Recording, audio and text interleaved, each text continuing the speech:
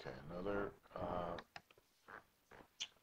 GeoGebra sketch. This time we are creating the in-center of a triangle. And uh, the in-center of the triangle is created by finding the point of intersection of the angle bisectors drawing the circle from there. Okay, so we will construct ourselves a triangle with three non-collinear points, three coplanar points, if you will. Okay, with segments. Okay.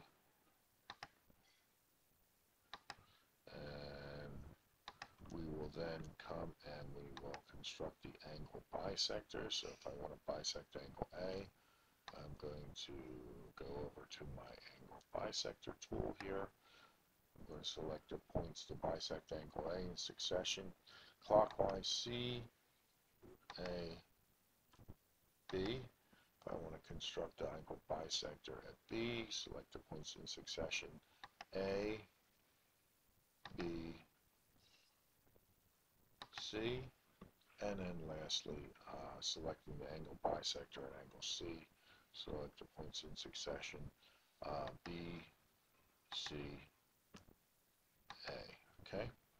Uh, again, my triangle is totally flexible. Regardless of how I change it, I can always see where the angle bisectors intersect. I can see clearly where the angle bisectors intersect. So uh, I want to label that point. So I want to find the intersection point as, as the drop-down box tells us, select two objects. Select two objects. So I'm selecting my two angle bisectors. There we have them. Okay.